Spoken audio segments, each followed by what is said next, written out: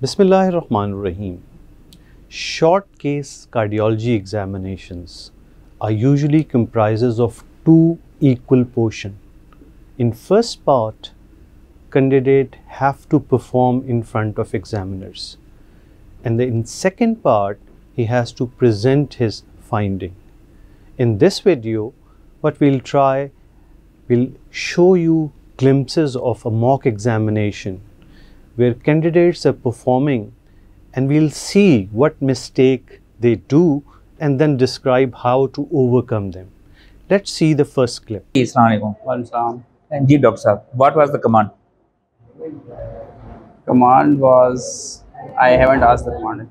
Ex- In this video, the candidate haven't seen the command and started doing examination. So it's very important prior to starting examination, you have to look on to the commands. The common commands are examine pulse and precordium, examine precordium, examine precordium and relevant. So what you have to do, you have to go according to these commands.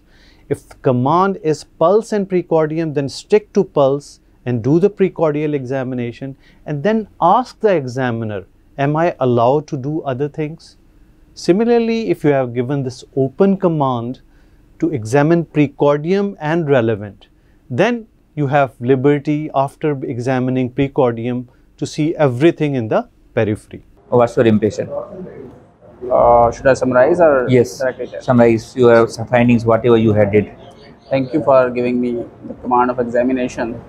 A patient is cooperative and not in respiratory distress. On uh, precordial examination, there was uh, left chest is bulged, which was equally moving with respiration, and uh, there was uh, not other asymmetrical things and no scars, visible pulsations, or any other deformity. On further examination, apex beat was palpable in uh, 6th intercostal space, uh, 12 centimeter away from the mediastinal line, and uh, there was no thrill palpable, no RV heave was there. While on further examination, uh, first heart sound was soft, second heart sound was uh, normal intensity, third heart sound and fourth heart sound was not appreciated. So uh, on uh, further uh, examination, pulse was of high volume. Uh, sorry, I forgot to tell about the murmur. There was an pansystolic murmur at the apical area, which was radiating towards the axilla and accentuated on expiration. And uh, on further uh, peripheral examination, pulse is of uh, high volume and uh, it was regular and uh, not uh, seems to be tachycardic and I have did till this. You've seen that the moment you are done with your presentation, the next question you're going to get is what's your diagnosis? So that means you should be ready after giving your finding for the diagnosis and some logical reasons for your diagnosis as well. And just after diagnosis, you will be asked about investigations or how will you approach this patient. Here you have seen the candidate straight away jumped to echo.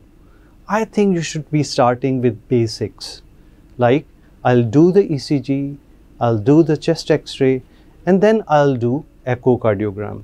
If, if you really want the examiner should ask you regarding ECG, then you should be taking a pause, just saying I'll do ECG. Immediately examiner will jump on and say what you'll see in the ECG. So if you are master in ECG, just hold for a while telling one investigation. If no question came, then do go to the second and third. a febrile and uh, was uh, 74 beats per minute, no radio radial or radio femoral delay, it was uh, low volume pulse.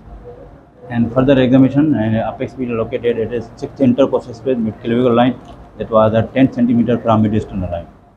And further examination, no, no parasternal heave was appreciated, and uh, first heart sound was normal, second component was not appreciated, and there was a systolic murmur at the maximum intensity at the left uh, at the right inter, second intercostal grade 3 by 6 and that was also appreciated and at the apical area but was not associated with a further maneuver examination. In this clip, you have seen another candidate presenting his finding. And again, he is a bit shaky because he's not following the sequence. As I already told you, that start from periphery, general appearance, periphery, and then precordial examination. If I would be in place of this, I would have started, I've just examined an old male lying on bed comfortably with pulse, all peripheral signs, then coming to the precordium again, telling about the status of precordium, then inspection, palpation, and auscultation. So it's very important to follow this sequence. Let's see the second clip of same candidate. My differential is uh, LVOT obstruction. LVOT obstruction. Definitely. So, how will you approach? Yeah. How you will approach? First of all, uh, I will ask about the symptom of the disease of the patient and uh, after taking result of the echocardiography and chest X-ray and ECG. Okay, What do you expect in ECG? In ECG in the patient, I will look for the chamber dilation and uh, left ventricle hypertrophy and sometime arrhythmia can associated aged patient maybe at the Okay, and next investigation. Next, sir, echocardiography. So, In echocardiography, I will first uh, confirm my diagnosis and etiology of the diagnosis and uh, severity of my diagnosis. And uh, some pa- parameter, I will look for the LV systolic function and I will look for other concomitant valvular disease and uh, pulmonary arterial pressure. In this clip, you have seen the same sequence of questions diagnosis and preliminary workup. So, what I suggest to all the candidates once you are doing the examination, try to complete your examination in four minutes and keep the last minute for this logical interpretation, diagnosis, and what basic workup you will do on the patient and what you expect in those investigations. Especially, you have to be master in ECG regarding chamber enlargement, X ray chamber enlargement, vascular changes, whatever you expect in any specific valvular lesions. And lastly, you should be knowing everything about echocardiography. And in echocardiography, it's good to tell about that I'll see this thing in two dimensional echo, I'll see in M mode these things, and with Doppler, I will assess these things. So you should be knowing everything about diagnosis, severity, concomitant changes which you can you expect in structures of heart in echocardiography. Now let's move on to the third candidate. cooperative during the examination. On precordial examination, there was no scar, chest deformity or visible pulsation, uh, bilateral chest movements or symmetrical. Uh, beat lies in the fifth intercostal space, uh, 9 centimeter from mid-sternal line and it's heaving incorrect. There is uh, also palpable uh, thrill over the uh, right second intercostal space. First and second heart sounds are audible in respective areas. Intensity of first heart sound is normal, uh, while the second heart sound is soft.